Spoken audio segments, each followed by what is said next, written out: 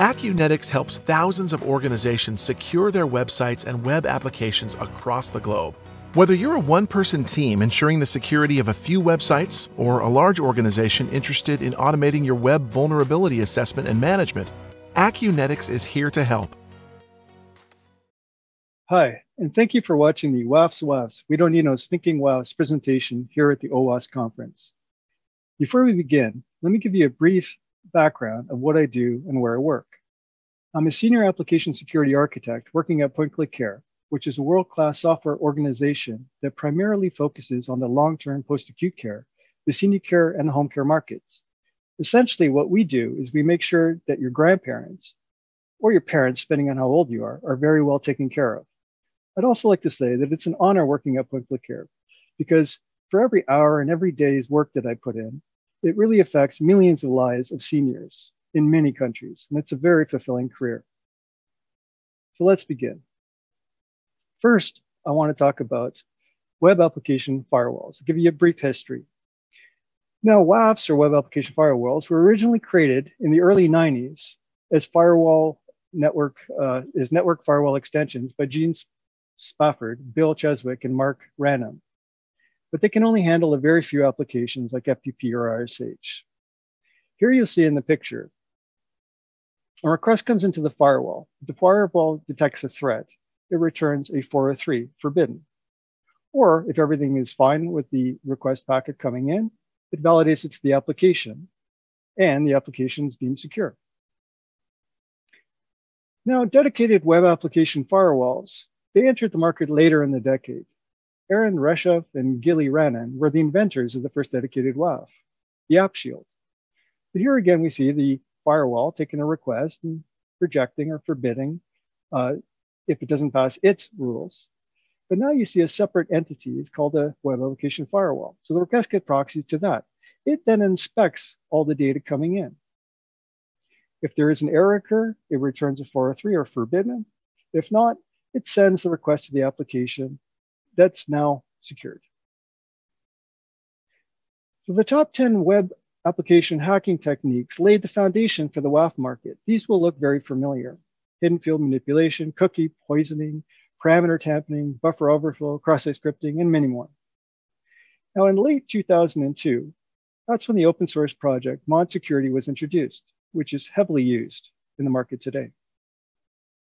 So what is the purpose of a WAF? Well, in short, it is to block malicious bidirectional web-based traffic.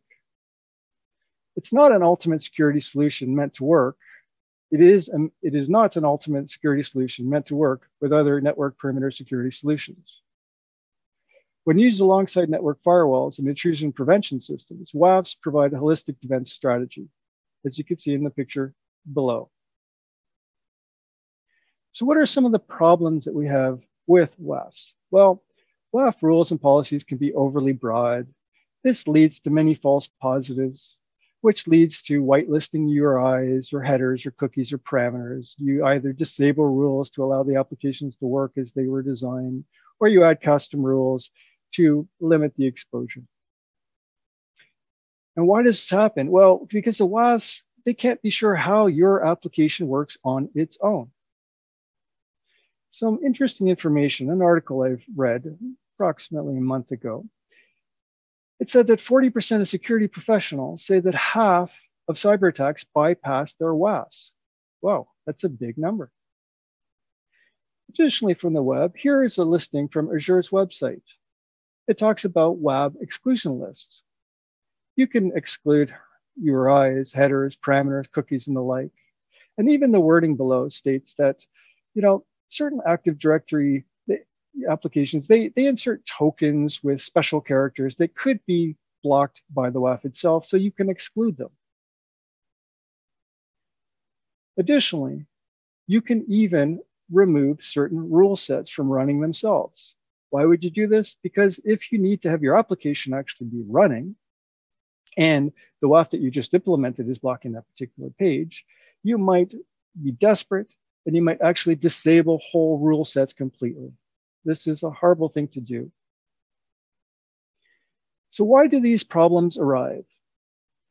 Well, WAFs, they don't actually know how your application works. Here in the picture below, you see how the WAF takes in a request. It valid anything, any validated request, it processes the application, deemed safe. But if you have any whitelist or disabled rules or custom rules, you really are bypassing the WAF itself. And everyone knows once a WAF, once a bypass is established, that hole is very hard to close in the future.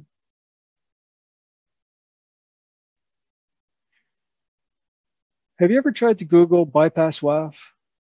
You'll see lots of websites and cheat sheets and Git repos. OWASP itself even has a SQLi bypassing guide that'll help you bypass their, your WAFs. Have you considered these? We're all familiar with the JavaScript colon syntax to run JavaScript inline in a web page. But take a look at the very next line, Java ampersand foo, right? You see that that's exactly the same thing. You're actually allowed to embed characters into the JavaScript keyword. Or how about the next one? That's the expression tag. That you can embed comments within every letter of the word. How about the very last one? Uh, this product is, well, it rhymes with JS duck. Let's call it that. There is no textual characters. It's all spaces and non-alpha numeric characters. Does your WAF block these? Generic rules are extremely difficult to create and maintain, so you always need to validate and sanitize untrusted data. Now we're going to introduce you a new concept of SAN-WAF. It's an application level security control. What it is, it's a sanitation web application filter. And it's implemented as a filter or intercepted and it's added to increase your application security.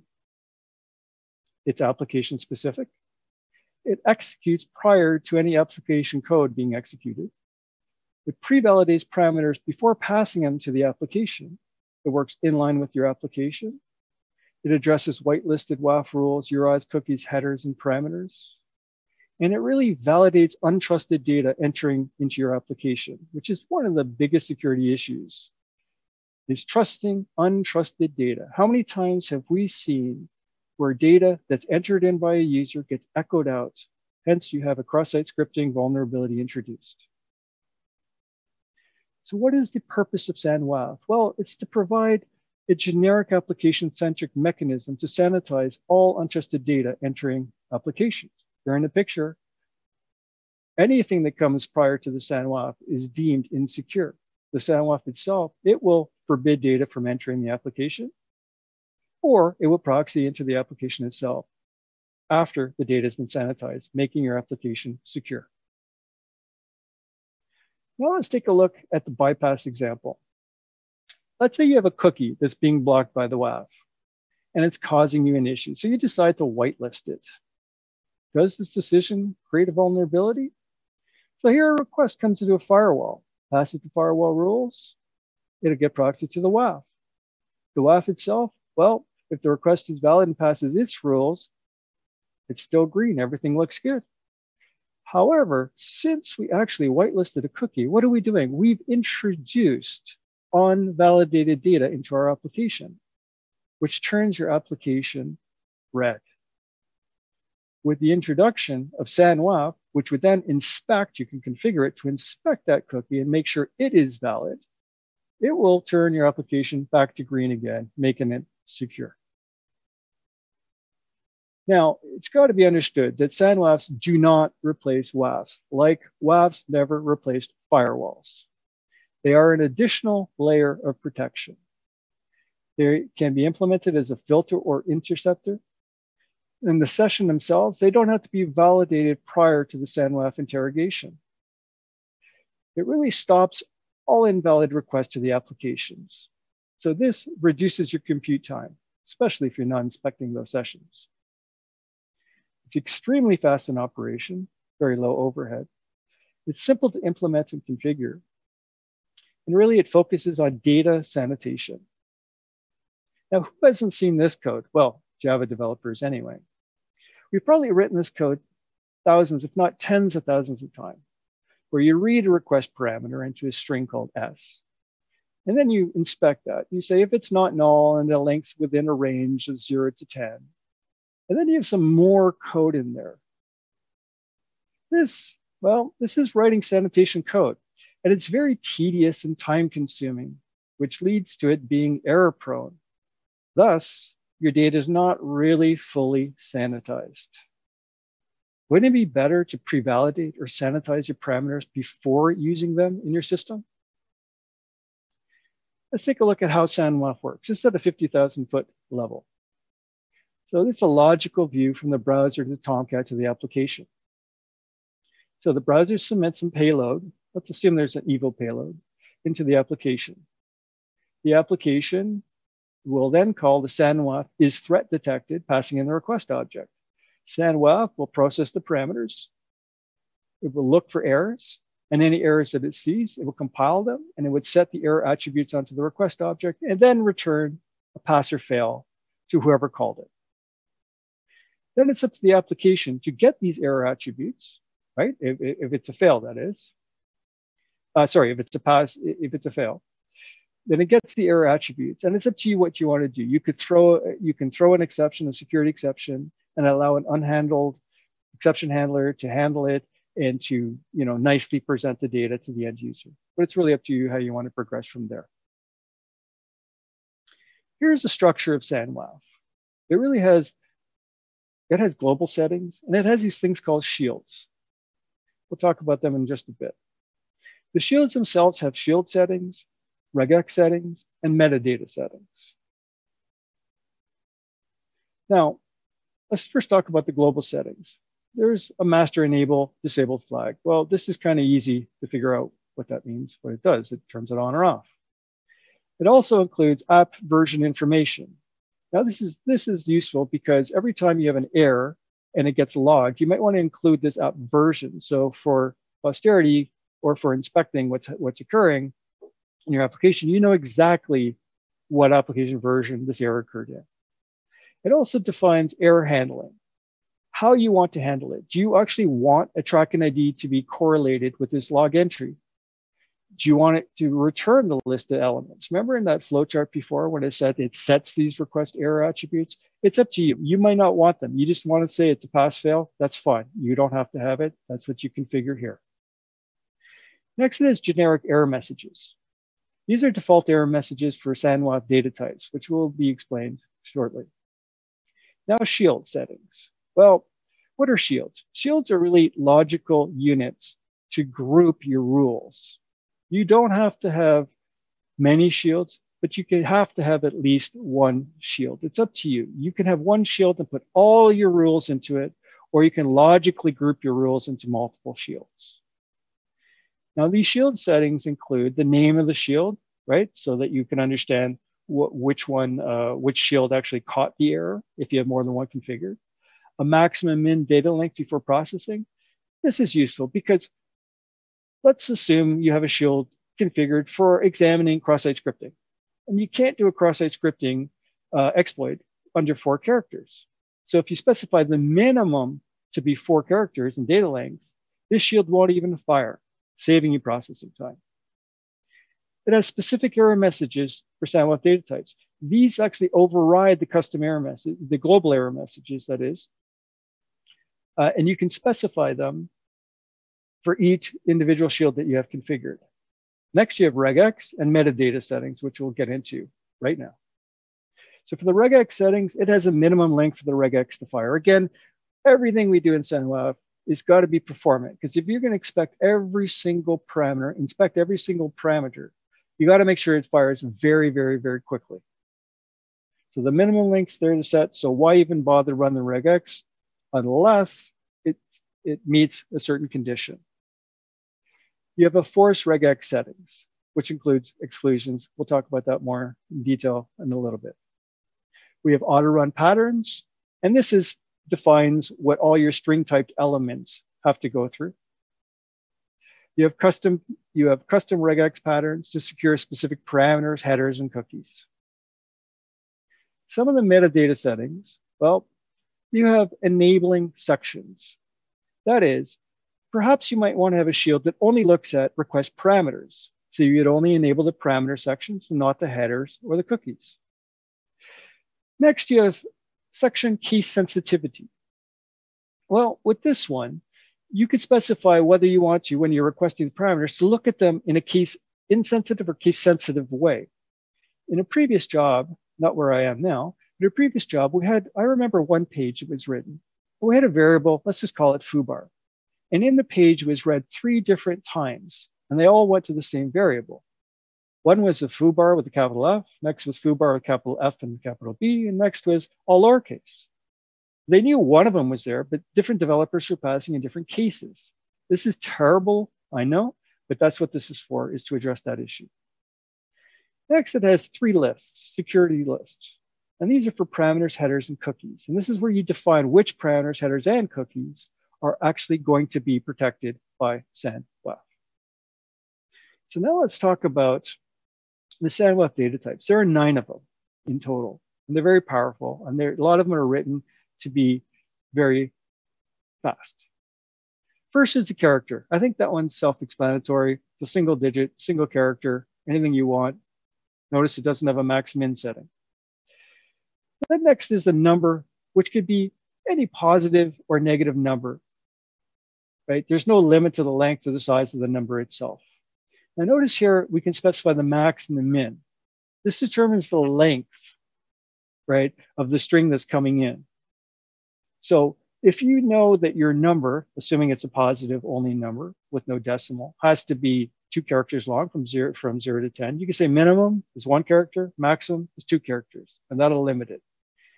So if somebody or a hacker tries to actually send you a lot more data, it won't even be looked at. It will be rejected just by the length setting. Next is a delimited list of numbers. What this means is you could take a look at the example, one, two, three, comma, four, five, six, is that you're expecting this parameter header cookie to actually be a list, but it's delimited by some character, in this case, a comma. Next is alphanumeric. That's all the alphabetic and numeric characters that are allowed. Next is alphanumeric and whitelisted characters. This is a very powerful, very, very powerful data type.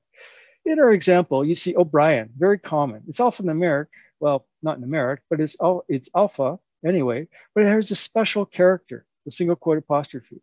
So this allows you to increase the, the increase the scope of what alphanumeric and the whitelist characters represent. Next is the string, the S for string.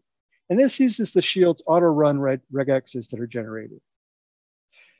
Next is constant, which is a list of constants to match. This is very useful. For instance, let's say you have a form and you're going to ask for what is the, uh, the user sex, either male or female or other.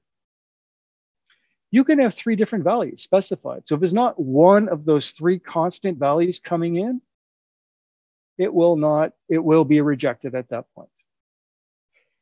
Next, we have custom regexes.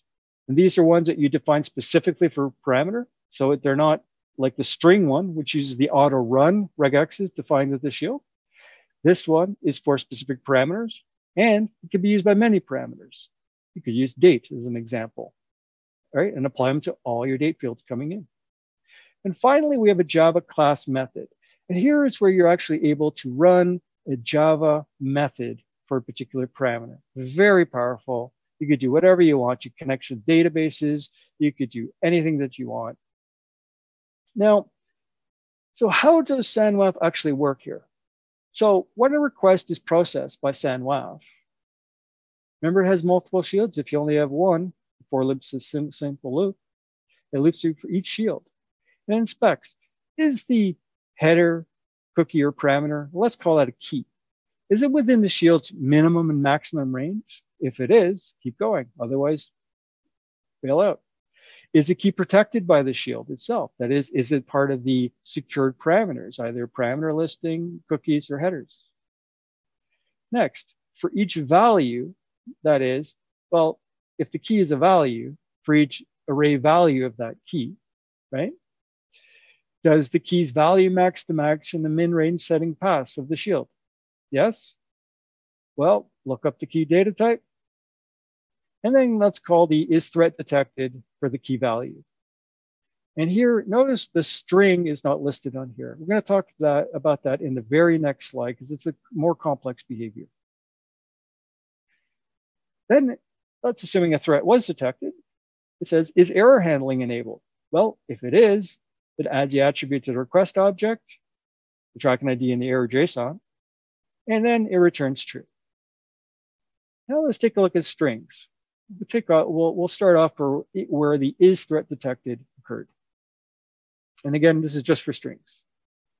We look at the data type, going to be string. If no data type is found, interesting. So this isn't a non-secured parameter cookie or header. It says, is the regex always enabled for this shield? If it is, it checks. Are you not part of the excluded list? So if you're not excluded, run all the auto run regexes configured in the shield and return pass fail.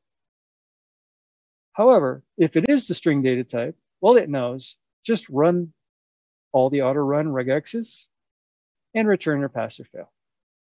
So it's really quite simple.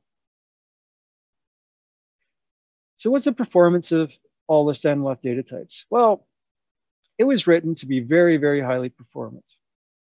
Now, obviously, the, the, the, quick, the quickest ones are going to be character, number, number delimited, alphanumeric, alphanumeric and more characters, and the constants. They are by far the quickest of all the data types out there.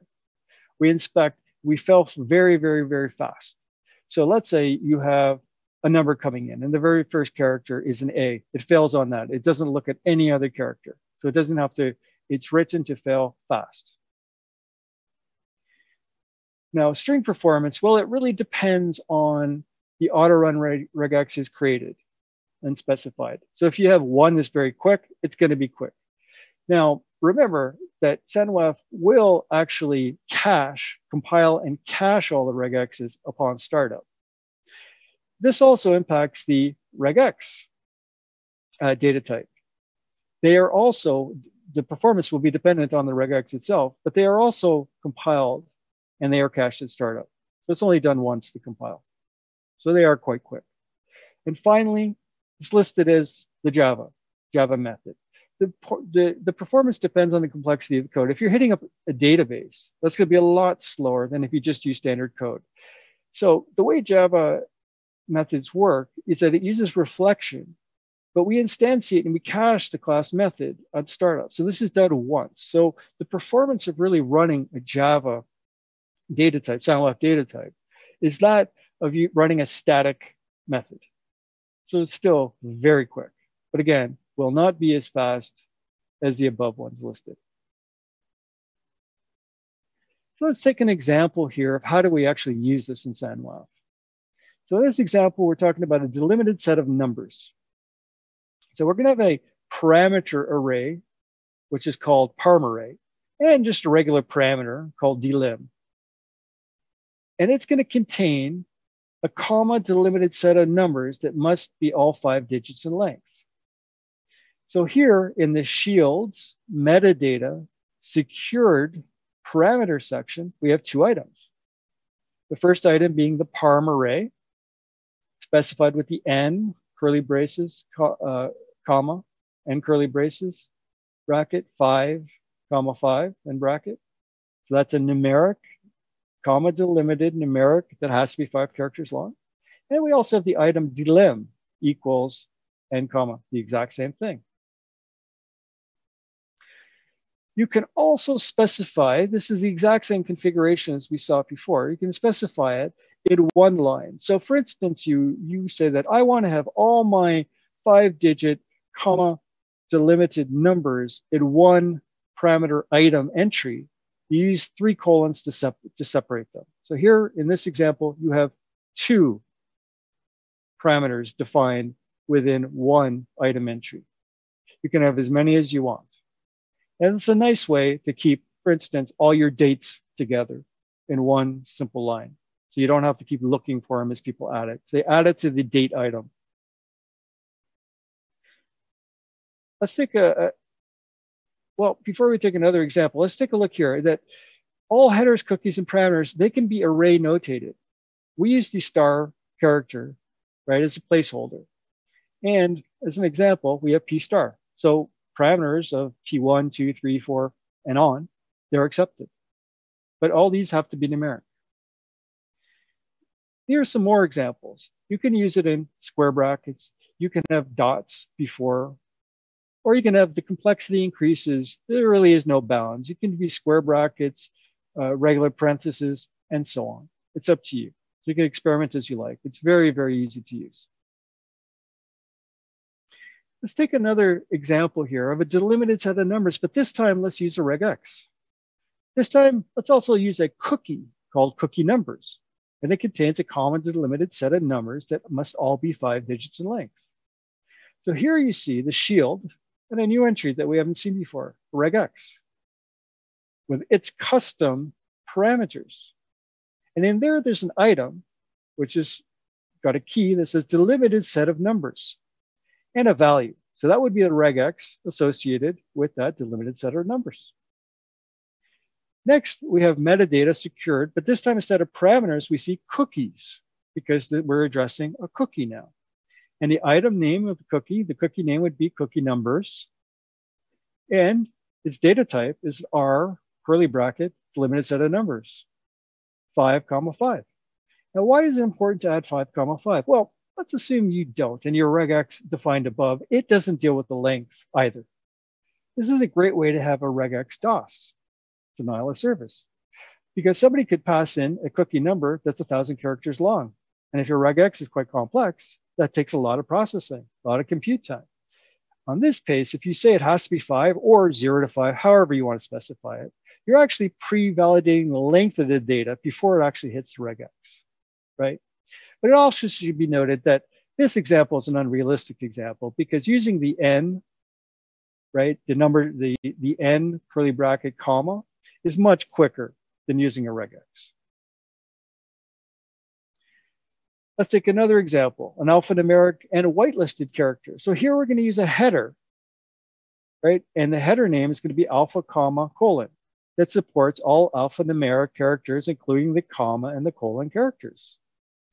So same what we see before, shield, metadata secured, but this time it's in the headers that has an item with an A, curly bracket, comma, colon, and curly bracket. That's how you specify a header with the name as an alphanumeric and more.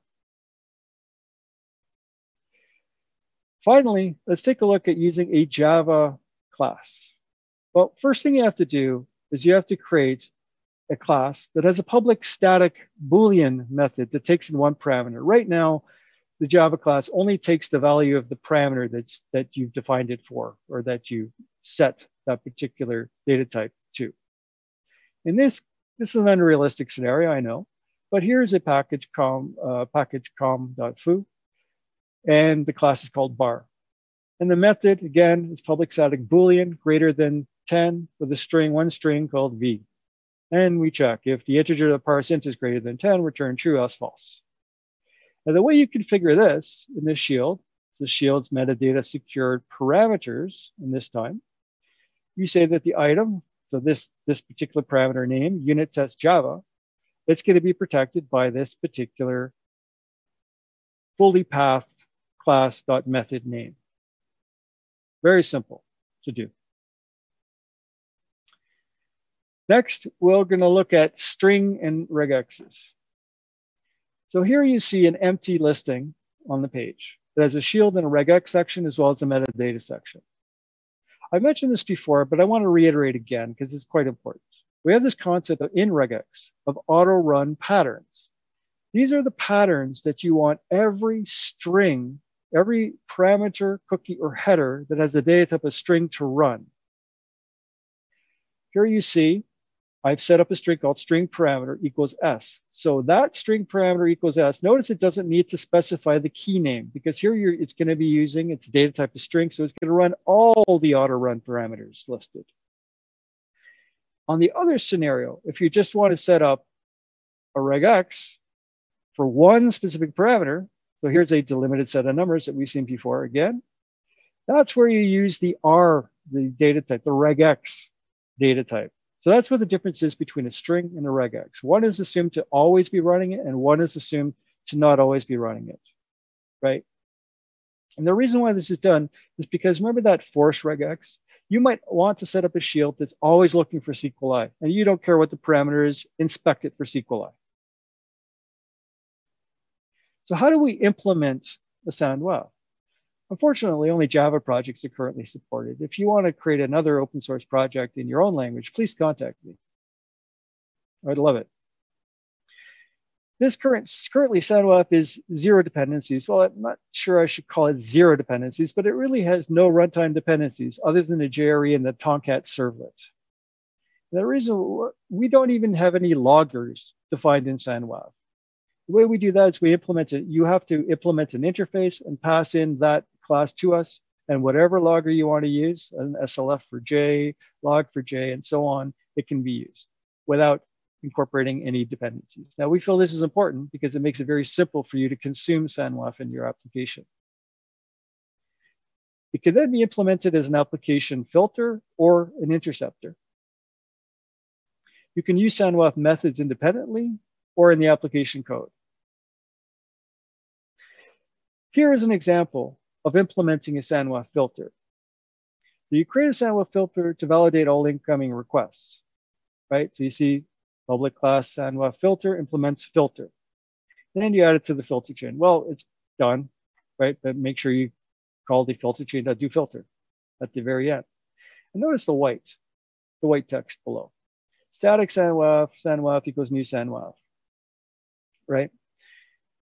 Then in the method, it says in the do filter method, is if SANWAF is threat detected, passing in the request. If it is, well, it's really up to you what you want to do, as mentioned before.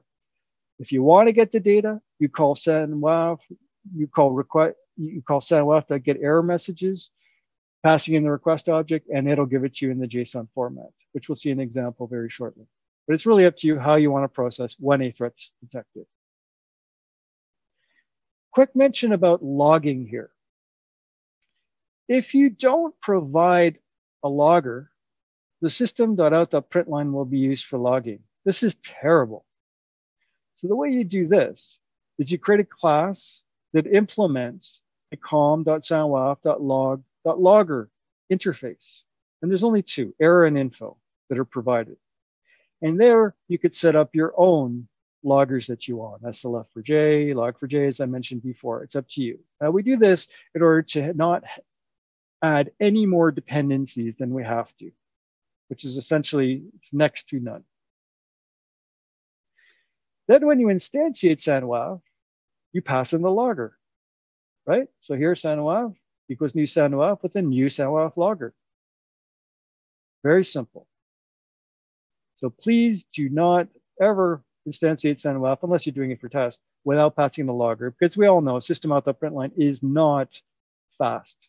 And it will not be as performant as you probably need. Let's take a look at some of the, an example of an error message and how it's presented uh, by SANWAF. In this example, we have a parameter defined as alphanumeric and more parameter, right? Which allows spaces and um, question marks. And here's some payload, some bad data, blah, blah, blah. When you call the when you call the get tracking ID, if you've enabled tracking ID, that is, in, in the global, in the uh, shield setting, it will pass in the tracking ID. This is very useful because if a customer sees an error repeatedly, they can give you a tracking ID and you can see exactly what's occurring and help them get, get past that block. Next, you have an example of what get errors would return. This is an exploded JSON view of what would happen, but typically it's on a single line. So you can actually configure your SIEM to monitor your log files looking for this. And if they repeatedly see the same thing occurring, you can raise further alerts and have your security team investigate further. What I want to point out here are the sample points. Because notice how we tell you what parameter, the data that's occurring, that's going to be escaped, obviously. What error, we give you the error message. These, this error message, these are what's either configured in the global settings or in the shield settings. It tells you what data type that caused it in English text, in English terms, the shield's name that occurred, as well as the app version where this error occurred. And the reason why you do this is notice how the sample points over here, they mark up with the data. Look at below, right? I only put the numbers so you understand the positions, that the exclamation, the semicolon, and the four dashes are in error. Now, you can actually take that data, that JSON, and then even in JavaScript, you can, you can specify it to the end user, come up with a nicer screen. Not that this is a nice screen by any means, but you could come up with a nicer screen and prevent a nice message to the end user saying, in this case, invalid data submitted, please contact and please correct and resubmit. Well, the alphanumeric characters and spaces and question mark are permitted. Show the bad data. You can even highlight it in this case, give them a back button to help them out so they don't have to rekey on all the information. And again, there's that tracking ID with the 1.2.3, which would be the application version. It's up to you how you want to render this data to the end user, or if you want to at all. Now, SANWAF, if you download the application, you'll notice you also get a sample. Uh, well, I can't really call it an application, but let's it's a servlet, right? And this SANWAF servlet, it gives you a simple page. It's a very rudimentary um, servlet. All the HTML is hard coded and so on, but it allows you to play and test with it. So you could put in valid data. And as you can see, the SANWAF results with the error ID and the error JSON listed below. So it's very useful for you to play with. And then you can even add your own and maybe try to make these error messages look better before you present them to the end user. So where do you get SANWAF? Well, you guessed it, in Git, in GitHub. So you go to HTTPS, github.com slash Bernardo1024 slash SANWAF. And here on the right, you'll see this is what the code looks like. It's very tight code. It's very small, zero dependencies. Well, not really zero, but mostly zero dependencies. And in here you notice there's no bugs or vulnerabilities. This is a JaCoCo scan represented in Sonar in a Sonar report. The two code smells are really related to that logger.systemout, right? That one that if you don't instantiate SANWAF with your own logger, it will use the system out one. That's what those are for. So I can't get rid of those, unfortunately. So thank you for watching my presentation, and I hope that you'll incorporate SANWAF into your, one of your projects. If you want to contact me, please email me at bernardo.toronto at owasp.org. But before I sign off, I'd like to give special thanks to my wife and family for putting up with my late nights of coding SANWAF. I'd also like to thank PointClickCare, especially my boss, Andrew Daters, for encouraging me to open source the SANWAF software. And finally, I want to thank Tabitha Lama, a colleague and a good friend of mine, for helping me with this presentation. So now I'm leaving you with my collection of deflated balloon animals. I hope you enjoy them and have a great day. Thank you. Bye-bye.